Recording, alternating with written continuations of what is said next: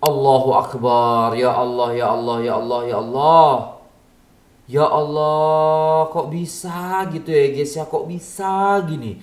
Padahal yang saya tahu itu kalau orang Malaysia berbuat kebaikan itu nggak setengah-setengah. Kok bisa begini ya guys ya Allah? Kasihan.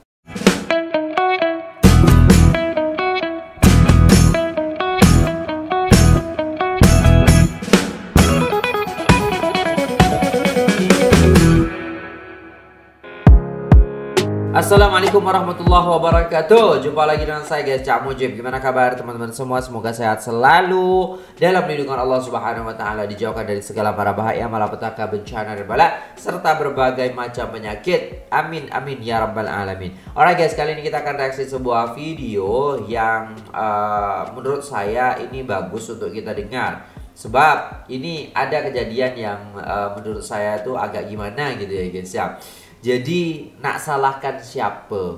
Ha, nak salahkan siapa? Saya pun tak tahu nak salahkan siapa. Kejadian di flat PPR Jelatek Kuala Lumpur. Ini teguran Y isu lembu kurban. Nah, ada kejadian yang sangat menarik untuk kita ambil pelajaran di dalamnya, bukan untuk menghina ataupun untuk uh, menjatuhkan, tapi di sini untuk mengambil pelajaran di dalam uh, video ini. Nah, tanpa berlama-lama, jom kita simak videonya ini daripada channel Nur Muhammad Channel, guys ya. Jangan lupa like, share, dan subscribe. Jom kita simak videonya. Let's go. Salah orang jaga lembu ke? Eh? Saya salah orang yang pergi deal belikan lembu ke? Aku pun Oi. Oke, jangan lupa like, share, dan subscribe. Seorang Nurmo individu Channel. merasa terkejut dengan keadaan beberapa Oh. ekor lembu yang akan dikorbankan sempena Hari Raya Aidiladha. Ini kerana menurutnya, lembu-lembu yang ditambak di kawasan sekitar PPR Jelatik Kuala Lumpur itu kelihatan sangat kurus dan terdapat luka pada badannya. Dia turut mempersoalkan tentang pihak yang menguruskan pembelian lembu-lembu tersebut sehingga menerima lembu yang kurus dan kecil. Perkongsian video itu telah mengundang pelbagai reaksi warga maya. Okey. Dah macam rangka bernyawa ni lembu bukan untuk kenduri kendara untuk ibadah kurban. Wajib pilih yang terbaik. Betul lah yang gemuk lah. Janganlah pilih yang kurus. Kan? Standard le. Masa tengok lain, masa sampai lain. Yang berternak pun kaki scam. Oh ya, ada juga macam tu guys. Ah, betul lah. Jangan percaya selalu pada pengurus lembu. Sebaiknya setiap peserta milih lembu yang dikorban. Ini zaman AJK Masjid pun taklah percaya. Oh, tak boleh percaya. Kesian orang yang buat korban Yang urus ni tak tengok lembu dulu ke Atau tokek lembu yang buat tahi Ais Orang kaya makin ramai. Orang miskin ha, ni dah dia. Aduh Ni nak ta- nak tanya ni ah, PPR Jelatik. Aku tak tahulah ni lembu ni adalah lembu beli ataupun lembu sumbangan. Kau tengok. Kecil sangat lah Kalau gambaran lembu ni daripada atas dah macam lembu penyakit. Ha. Bukan penyakit Dia Kau kurang rasa makan kau rasa macam mana? Aduh, ay. Tak tahulah. Salah orang jaga lembu ke? Saya salah orang yang pergi deal belikan lembu ke? Aku pun tak tahu. Lembu korban. Nasib lah. Aku pun cuma nak tanya lah. Aha. yang buat ibadah lembu ni uh, keluar sama bayaran dia. Kan? Dengan luka-luka lembu ni. Luka-luka. Eh, kalau kat sini tu ada pemeriksaan guys. Setiap uh, tempat kurban tu ada pemeriksaan Kalau tak layak macam ni Dia batal tau Maksudnya kalau ada luka, sakit Nah tu kan Itu kalau pemeriksaan kat sini Daripada kementerian Menteri apa nama tu uh, Kejap, saya ada guys ya. Nah, di sini ada daripada pemerintah Kota Surakarta Dinas Ketahanan Pangan dan Pertanian. Nah, itu guys ya. Jadi di sini sudah dicek sapi-sapi yang ada kat sini, surat keterangan pemeriksaan kesehatan hewan kurban. Ah, di sini Senin 11 Juni 2024 Bait Al-Falah 2 sapi 8 ekor kambing. Semua boleh sehat. Dan sudah ada uh, kat sini tu tanda tangan daripada uh, pemerintah kota Surakarta. Macam tu ya ya iaitu uh, kepala dinas ketahanan pangan dan pertanian ya kota Surakarta kalau tak boleh tak boleh memang tak boleh Ya, kalau tak boleh memang tak boleh. Jadi memang cancel. Maksudnya ganti dengan hewan yang lain. Maksudnya hewan yang lebih baik lagi yang sehat macam tu guys ya. Apakah di sana tidak ada uh, pemeriksaan ya atau bagaimana? Saya kira ada pastinya kan. Luka-luka lembu ni. Tengok daripada atas lah tengok. Ya Allah. Kalau dia cakap ada luka-luka, Marah. aduh kasihan. Marah orang. Ni tengok ni. Dia tengok dia macam ni. Oi. Kurus. Nasib lah. Dia aib lembu ni, rebang, unta, kambing ada empat jenis aib. Empat jenis cacatan yang menyebabkan tidak sah. Pertama, buta. Kedua, capek. Kecok lah. Ketiga, sakit. Keempat, tak ada daging. Ha itulah. Yang pertama, buta. Buta sebelah, tak sah buat rebang. Dua belah, apatah lagi.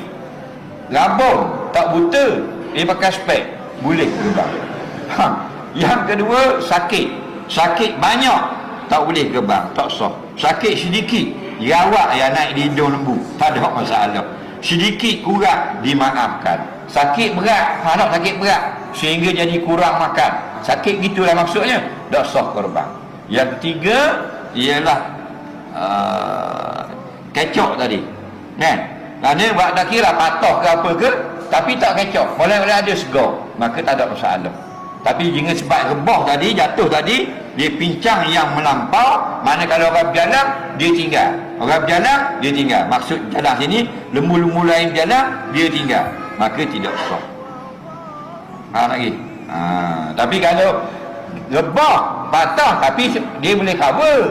Lembu lain berjalan, dia tinggal sikit. Eh, ada belakang. Ha, maka sedikit pincang, dimaafkan.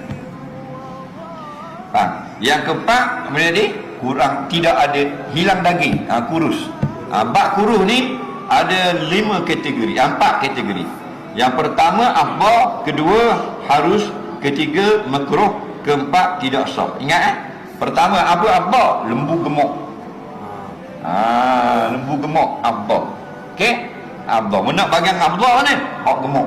Oh, oh gemuk lembu. Apa? Yang kedua harus iaitu lembu sedang. Nak kata gemuk dak, kuruh pun dak, sedang-sedang aja. Okey? Harus. Yang ketiga makruh. Lembu benda yang makruh. Nombor tiga ni. Lembu kuruh. Ha, nampak tulang. Ha, betul tulang tu nampak dah. Lembu kuruh. Makruh. Sah tak? Sah korban. Yang keempat, tidak sah. Lembu mana tidak sah eh?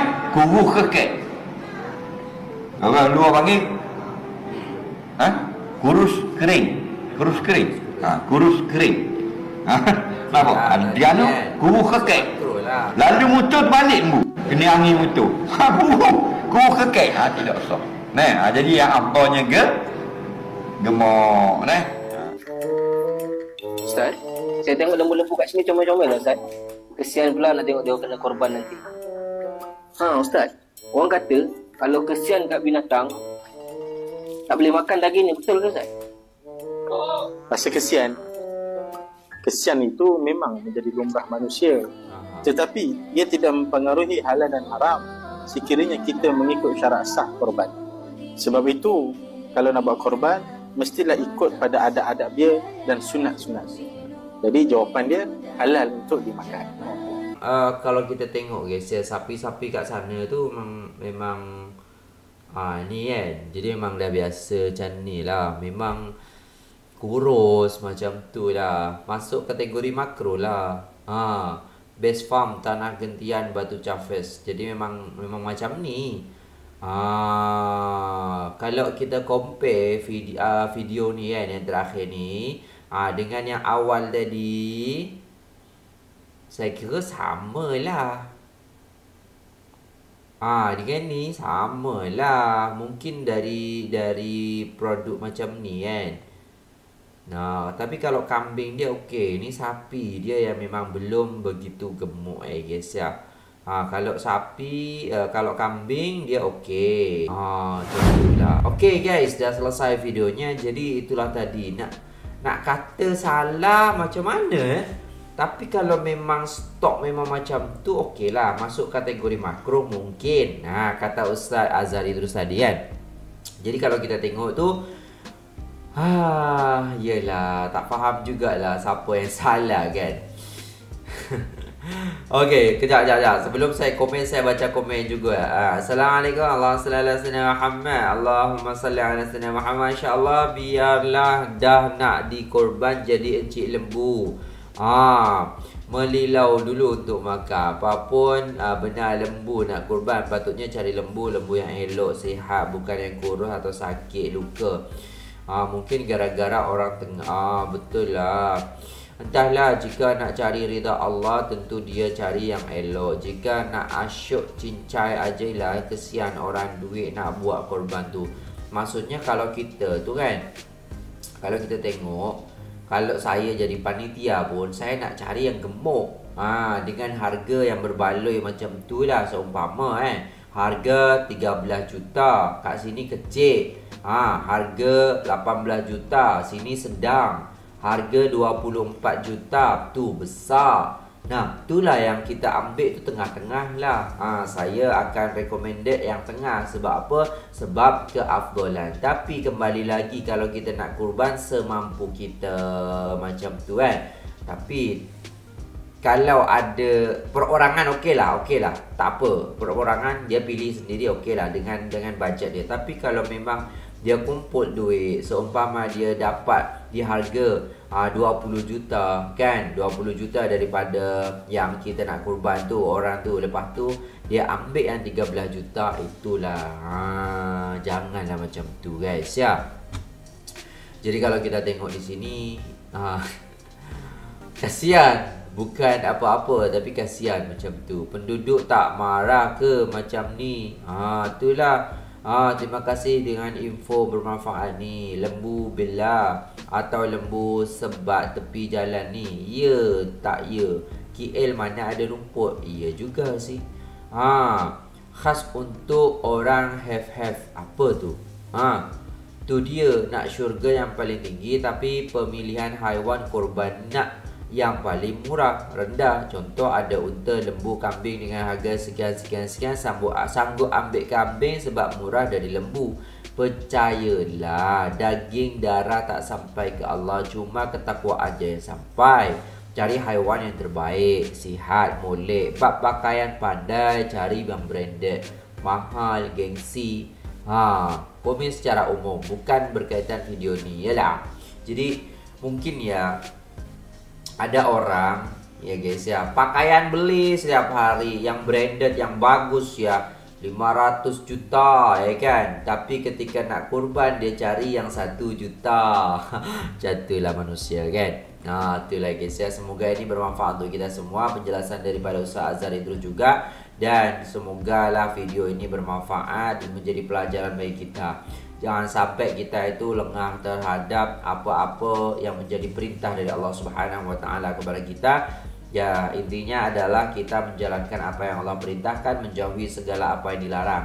Ah, yang sunnah-sunnah tu kita kerjakan juga supaya apa? Supaya keafdalan, supaya takwa kita semakin bertambah dan bertambah insyaallah. Oke, itu dulu videonya guys. Terima kasih sudah tengok video ini sampai selesai. Semoga yang berkurban ya diterima oleh Allah Subhanahu wa taala hewan kurbannya, takwanya semakin bertambah dan uh, menjadi apa nama simpanan bagi kita kelak di hari kiamat, menjadi tunggangan bagi kita kelak di hari kiamat. Amin amin ya rabbal alamin. Oke, terima kasih sampai jumpa di video selanjutnya apabila ada salah kata mohon dimaafkan. Wassalamualaikum warahmatullahi wabarakatuh